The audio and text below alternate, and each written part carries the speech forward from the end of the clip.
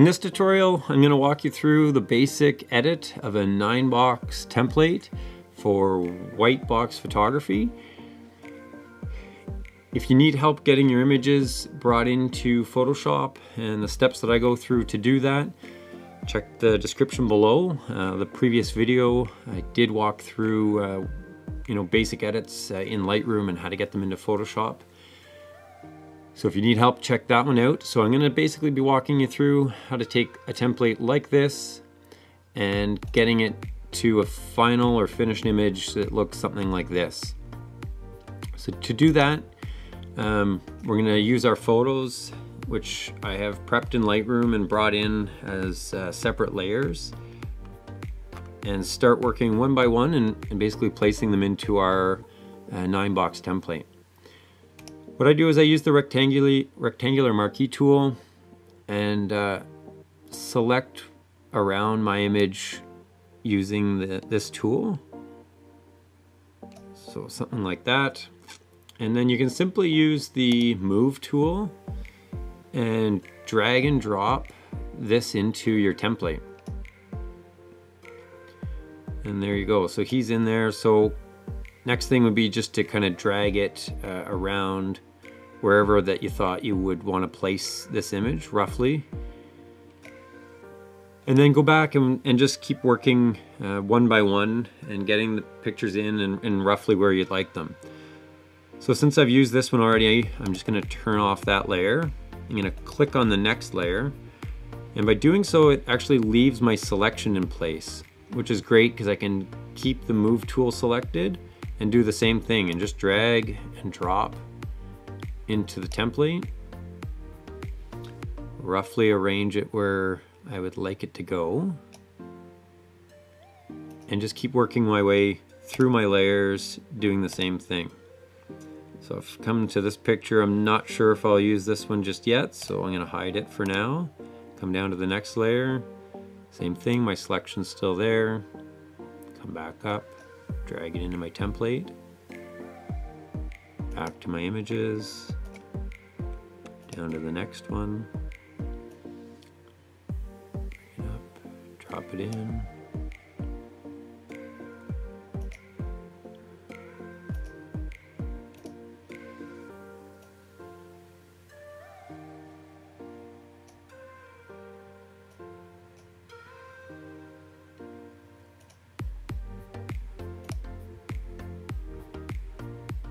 So this next layer has got a little bit more to add to it. Um, so I need to actually make this selection um, around that. So what I'll do is I'll just do the basic ones for now. And so this one is the one I'm going to use to have him reaching for that uh, for that ruler. And right now, I'm actually not worried about getting the rest of the ruler in. I'm going to use it from the previous uh, photo. So what I'll do is I'm gonna still use just basically the selection that I've got and place it in the in the template. And come back here.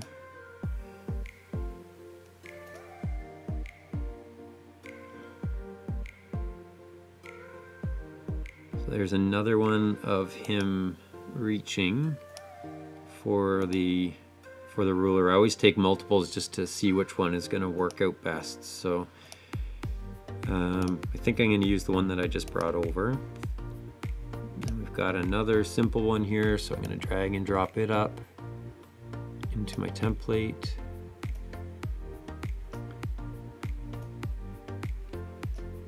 And oops, come back over to my photos turn this one off again, jump down to the next one, same thing, the selection's already there, drag and drop it in. Come back over again, turn that off, and there's another one there. So it looks like I've already filled up my uh, my nine box, but I still have this uh, this ruler uh, one that I'd like to uh, like to put in there. So I'll end up having to take one of these out, but I'll go back and I'll show you the quick selection that I do for that ruler. So I've gone through and taken out all the pictures now. So if I come back up to the one where he's holding the ruler, and I can keep this rectangular marquee tool already there, that selection. And then what I'll do is I'll just zoom in and add my selection to the rest of that ruler. So there's a number of ways that you can do this. You can um, simply use the lasso, uh, lasso tool or the quick selection tool. I'll try the quick selection tool and see how well uh, how well it works. I'm just gonna get a little bit bigger brush. And so it's already on plus, so I'm just going to pull it around the ruler and it's selected way too much. So I'm gonna use the Alt key to try and reduce some of that. And same thing, Alt key again, Alt key again. It is nice to get a perfect selection. It does make working uh, with it after a little easier. So, so right now, for whatever reason, it's uh, it's not doing the best uh, in terms of a selection. Um,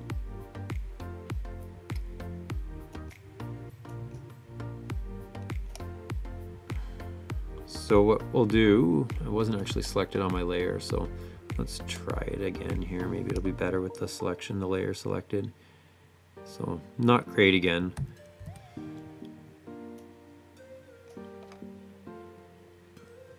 What I'll do is I'll just do the a quick way here with the with this tool. Uh, holding shift will add to your selection. Holding alt will remove from it. So what I'll do is I'm just going to hold alt and remove that section there and same up here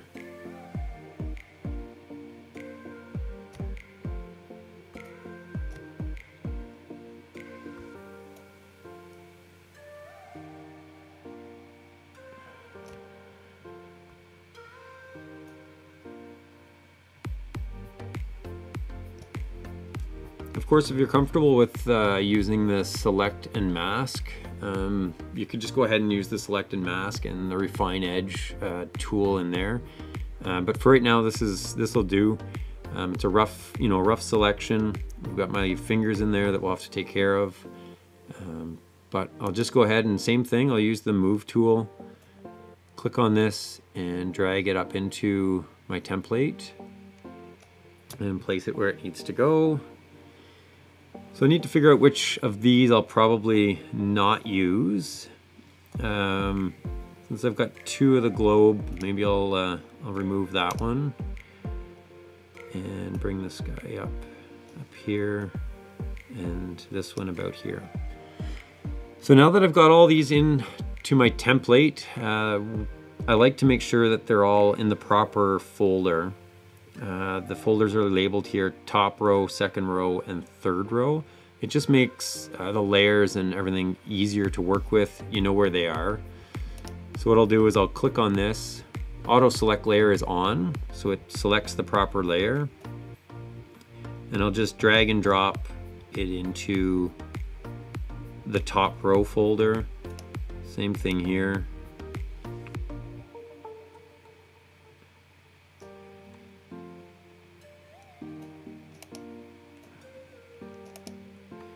And again, you can do this um, as you do the images one by one so that it's uh, they're all kind of quick and, and, done as you uh, as you go. I find that I just kind of do it I do it after with the auto select because it's just as quick.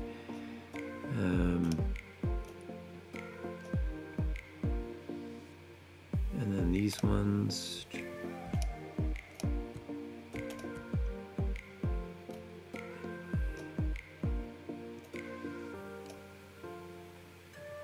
Perfect, and then what I'll do is I'll just delete this layer that I'm not using. That was the one that I turned off that I had duplicates of. So there they're roughly into the template. So now you have to kind of go through and manually uh, adjust them and fit them to the template. So I'll just start in the top left corner here and zoom in so that we can take a little look at it. So if we look at the template now, um, basically what I'm gonna do is drag and drop this for the left, the top left corner. I start here and I move it so that everything is lined up with that top corner first. So I'm just using the arrow keys to adjust right now. And then I use the transform button or the transform tool. So edit, transform, and you can use uh, scale for this one. Um, the quick shortcut to that is Control T. So, and then I'm gonna basically scale this back to fit my template.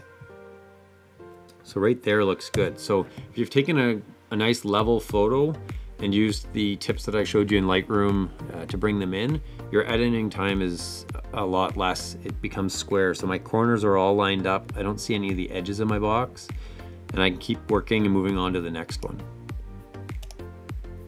So I'm gonna use the same thing. I'm gonna go Control T, which is the transform. I'm using my arrow keys right now to look at the top left corner. I'm gonna get it lined up so that the line of my box meets the corner. And then I'm going to size this down to fit my template and hit enter and you've got it done. I'm gonna do this quickly. Hopefully I can fast forward it through the video so you don't have to watch each one.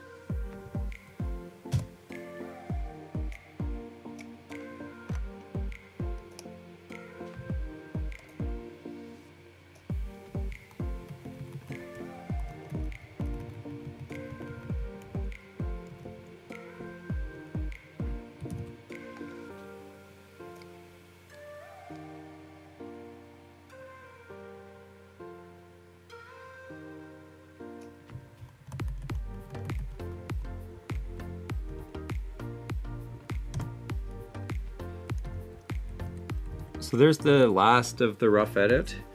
Um, this one was fairly quick, um, and now I'll quickly go through what I'm going to do with uh, with this overlap, um, and uh, and you can get an idea of how to do that. I'm going to do a separate video on on these overlaps and, and how to deal with them. So. Um, actually, if you want, you can check out the next video and I'll, I'll run through just that edit alone as it can get a little bit more involved and we'll, we'll cut this one here. So I hope that helps. Uh, check the description for the next video uh, and other videos like importing your photos into Photoshop, getting them ready. um, as well as specific templates uh, and the tutorials for each template that I've got.